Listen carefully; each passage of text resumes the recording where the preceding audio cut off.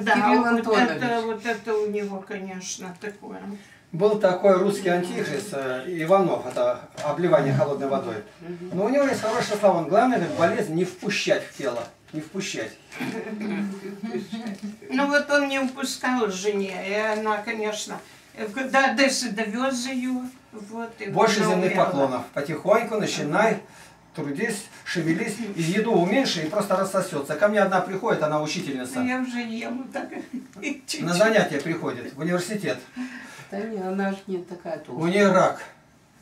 Она неделю, кажется, не ела. Не е- неделю или больше. И молилась, ходила на занятия. Полностью рак полностью ушел. Нету. И она перестала ходить. Выздоровела, зачем ходить-то? Есть такое житие Пимена многоболящего. Он лежит и буквально гниет. А рядом другой брат. И этот ему говорит, да, вот был бы, и монахи ушли опять куда-то, ни- никто не пришел, даже из-под нас не убрали-то. А вот я бы, если здоровый был, я бы за тобой так ухаживал. А Пимен говорит, ты здоров, вставай. Тот встал. И стал за ним ухаживать, а потом охладел, охладел, охладел. И своими делами, как монахи, занялся. И опять заболел, ой-ой-ой, и опять лег. Он говорит, ну теперь лежи, раз ты. Светлана Копылова, слышали такую? Она поет, два больных-то лежали как. Да. Хорошо? Да. Он так на краску дверную смотрел. А тот ему рассказывал, а сам был слепой. Я рассказывал о чудных каких вещах. А тот позавидовал. Завидовал, и зависть сжирала его, ежедневно сжигала. И он даже кнопку мог дотянуться, а вызвать сестру милосердия не вызвал. Ну, он занял его место. Да. А как же стена здесь? Да он же с детства ничего слепой не видел. Ты должен, ты обязан Такие себе показать образ Христов. Этот храм твой. Ты еще за него отвечать будешь. Почему ты так поставила, что он разрушается у тебя? Не поддавайся.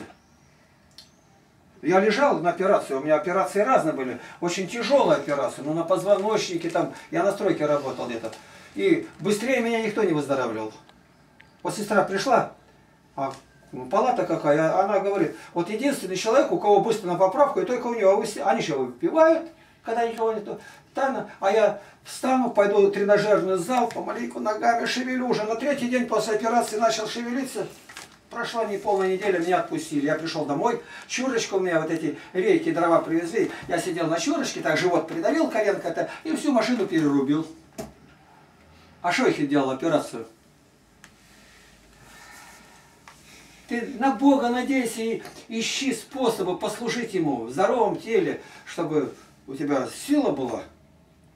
Ну, не такой же здоровый, а все-таки. Ну давайте пойдем что ли. Тома, ты пойдешь? Нет? Нет. Так, что там с Атом Павлом-то? Ну пошли. Уже да. Давайте. Нам